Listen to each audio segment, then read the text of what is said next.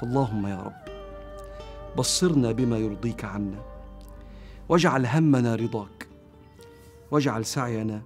لا يخالف هداك